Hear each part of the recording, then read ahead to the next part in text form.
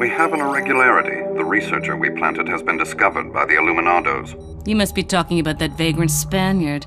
So where is he now? He's held captive in an abandoned house located northeast of the village.